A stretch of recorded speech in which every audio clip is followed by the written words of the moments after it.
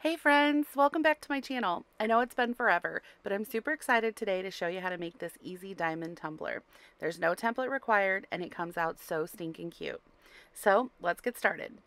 All I'm going to do first is pick out a 12 by 12 sheet of pattern vinyl. The one I'm using is Create by Firefly and I'll have a link in the description box below along with a discount code.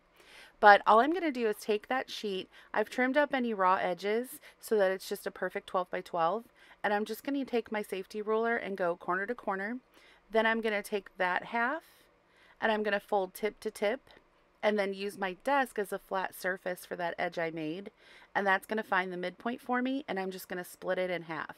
So after this step, I'll have perfect quarters of vinyl, none wasted. I'll have three perfect pieces left to use on other projects and my perfect quarter for this one. So then I'm just kind of looking here to see which one I like best and I'm going to pick one. And we're just going to do a vinyl wrap just like we normally would for a V-split. So today I'm going to work with a 20 ounce Thickum. I think I got this one from Parish Tumblers. So as always, I just kind of do a test run and make sure it fits the project well. And then I'm going to cut off a little anchor. All I'm going to do is use my desk for the flat edge, stick my anchor down, I'm going to do a test run and pull it around and I'm satisfied with the way it looks and then I can just go ahead and squeegee it right on. Could not be any simpler. So after I've got my vinyl on there, I just kind of take a look around, make sure my edge is good, make sure there's no bubbles to address. I generally don't have a lot of those issues when I use my little felt squeegee. Then I'm just going to tape off the raw edges of the vinyl before I start measuring out my diamond. You definitely want to tape off first because you don't want to accidentally draw on your vinyl wherever you're going to place your diamond stencil. So we want to tape that off first. Now don't forget, after you've taped off the edges of your vinyl, you want to come back and you want to trim off that V so we have a nice straight perfect edge there as well.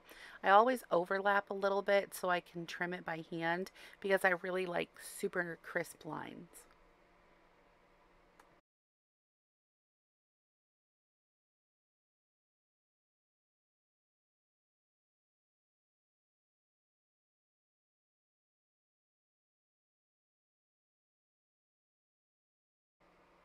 Okay, so once you have your V trimmed off, we're ready to move on to the next step. So first thing I'm going to do is I'm going to take my little handy tool from the Amy's Make Everything, and I'm just going to draw a straight line from the very tip of that vinyl where it meets in the peak straight down to the bottom of the tumbler. I just want to find the center point of that vinyl. And I'm doing this in pencil, which I can see just fine in person, but I realize it's a little bit hard to see on video. Then I'm going to measure how much vinyl is at the top of my tumbler and I'm going to make a mark at the bottom of my tumbler at the matching height because I want it to be symmetrical. I want there to be as much vinyl at the top as there is glitter on the bottom so that my diamond is perfectly symmetrical. So you can see the mark I've made there. I got smart and did it in Sharpie for you so you could see it too. Then I'm going to measure the distance between the tip and the mark I made and that's going to be how long my diamond is and I want to find the exact center point of it. So I'm going to measure that, divide it by 2, and then make a mark there, and that's my halfway point. So my diamond will end at that bottom mark, and the center is going to be the middle mark. So then I'm just going to take this ruler tool that I can draw a line with, and I'm going to mark lines out on both of those spots that I marked. Now the center point was just to help me find my destination that the tape is going to go in, so I'm not really concerned about drawing that line out for you. So then I'm going to take a piece of masking tape and I'm going to start at my center point there. And I'm going to bring that tape down to meet right at the center line that I drew. There's a little crosshair there. I'll mark it here so you can see it better. But I want to come down to that crosshair. Then I'm going to take a piece of tape and I'm going to come from the other side and I'm going to do the same thing. And this is going to make me a perfect diamond that is perfectly sized to be matching at the top and bottom. And I know exactly where the center point is. How easy is that? So at this point, you can wash off the marker if you choose to. If you're using a light glitter, I would. Since I'm using a dark one, it really didn't matter, but I did it for you. And then I'm just going to take a little bit of my heavy body acrylic paint. This is a dark purple from my Arteza set. And I'm just going to paint that on, a nice coat. And then uh, the first glitter I'm going to go in with is Lavender Splendor from Bougie Glitter Boutique. It's almost like a middle of the road purple. It's not really lilac, but it's not really dark either. And I'm going to tap that off really well. And then I'm only going to pull the bottom two pieces of tape. I still want to protect the vinyl at the top for my painting on the back side. So I'm not going to pull all of that off yet. I'm just going to pull the first ones. And again, if you want to wash your marker off here, you can, but I'm not going to because I'm going to keep working with a dark color. So I'm just going to clean up my mess really quickly.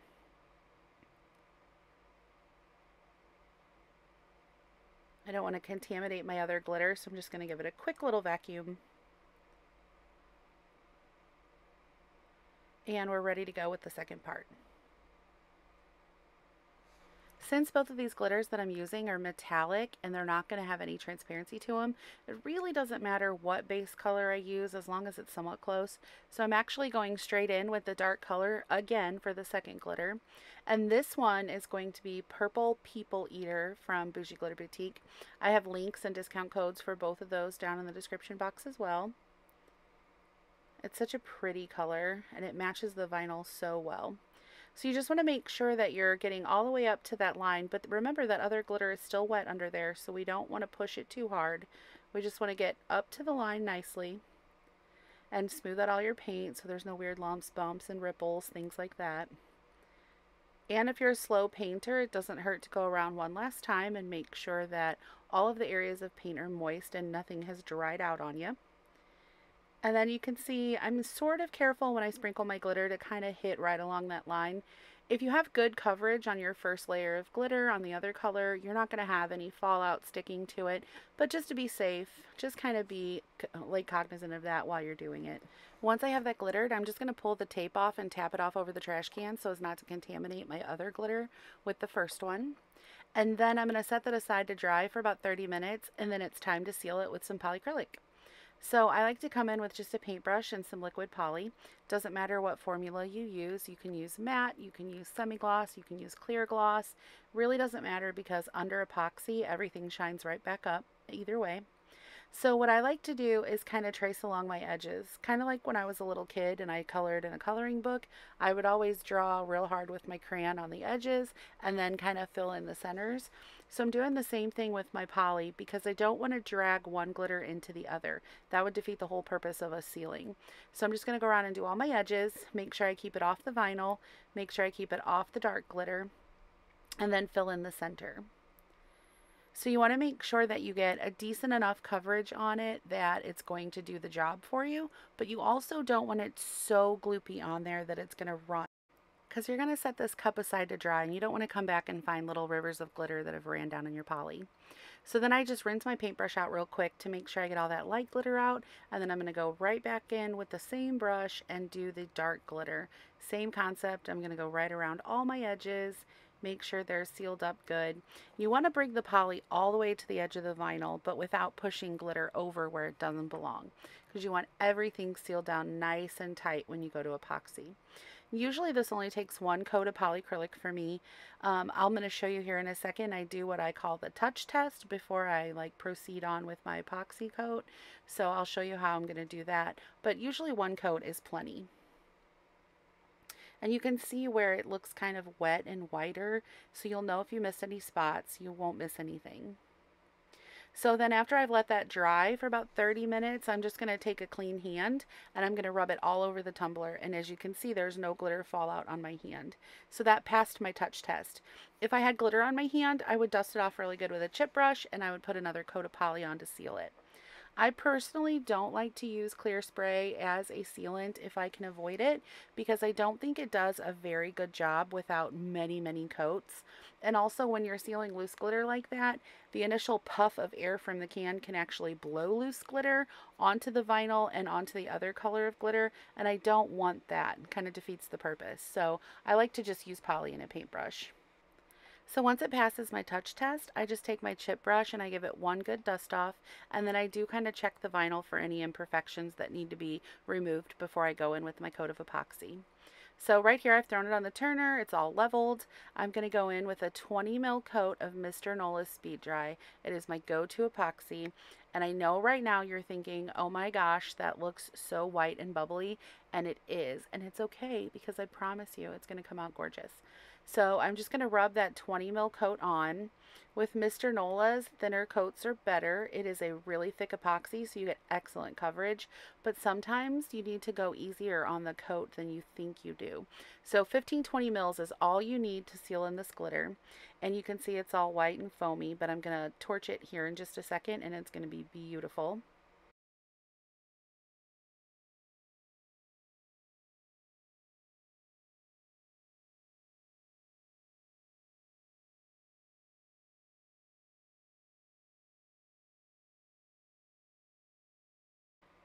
So after I hit it with my torch and show it a little love, I'm going to have all those bubbles gone. That epoxy is going to be moving nice and smoothly all over the tumbler and I'm going to get an excellent coverage coat. I'm going to let that cure for about three hours and then I'll be ready to start sanding and applying my decal and stripes. You do want to make sure you don't sand over the area where the decal is going to go because if you do that, the epoxy won't be able to shine back up under the clear edges and you will definitely see your sanding marks. So I'm going in with this uh, metallic chrome opal. It's from TeckWrap. I have it linked in the description box.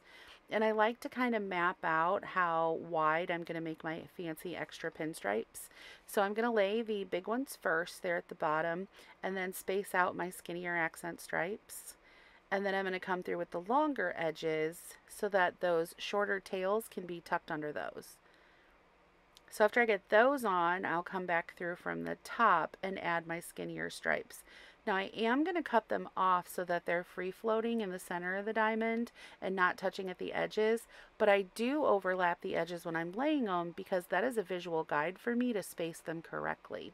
I want all my little points of my V's lined up and I want even spacing all around. So I use that as my guide and then I cut off the ends.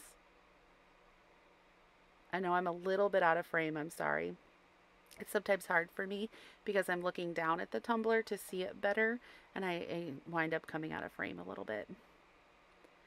So I'm going to cut off all those excess edges and then I'm going to come back through with my darker accent which is a dark purple striping that I'm going to put just on the thicker stripes.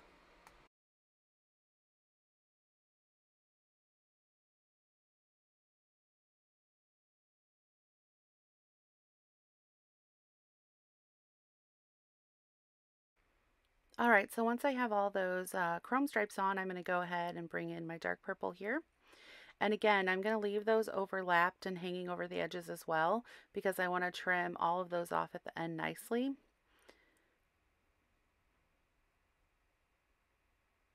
That's how I make sure I get really nice points that match up. Then after these purple stripes are finished, which they're only going to be a couple, um, I'm ready to go in with my decal. I'm using one that matches the vinyl. It is also from Create by Firefly, and I also have that linked below as well. It says Love You to Death, and it has a heart on it with a little bandage, sort of brokenish.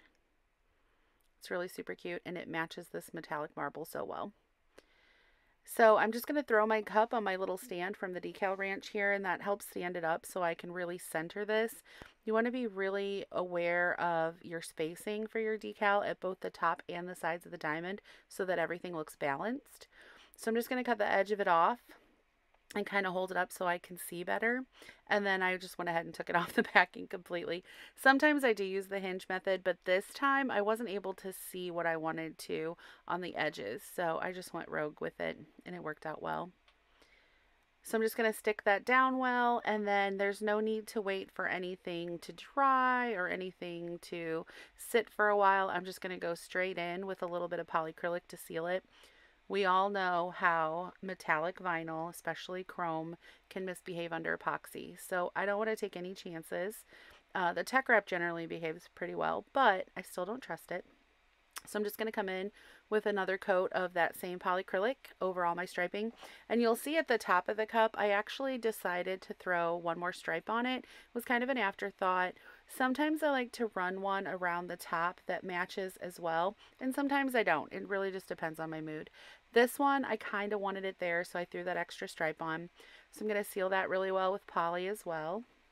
I'm going to set that aside and let it dry for 15-20 minutes is all it'll take and then she'll be ready for her final coats of epoxy. How stinking cute is this little tumbler and so easy. I know it looks complicated to try to get that diamond perfectly spaced out, but two little measurements and a straight line is all it takes, I promise you guys. It's so simple. And it's so cute. So I'm just going to get my bottom edge of my cup here and then give it a quick hit from the torch and she'll be ready to go in about 30 minutes or so. I can actually throw a second coat on right over that first coat of uh, speed dry that's still drying and they will bond together. If you're not able to add a coat on quickly like that, you do want to go ahead and let it sit and cure so that you can sand in between layers. So after I got that last coat of epoxy on, I hit it with a little torch love to pop all those bubbles, smooth everything out, give myself an excellent final coat, and she was good to go. So I stopped the turner at about 45 minutes to an hour, set it to the side and let it fully dry for several hours before I scooped it up and went to take pictures of it. I just love this tumbler so much and I really enjoyed making it for you guys today. I hope that you enjoy the video as well. And if you try to make one for yourself, I would love to see what you come up with. So please tag me on social media when you share it. And if you'd like to see more lives and tutorials, hop on over to my Facebook group, Add a Bit of Bling creative community. We have a huge community of really awesome crafters that are super willing to help and just have a lot of fun. So thanks for joining me guys. I'll see you next time. Bye.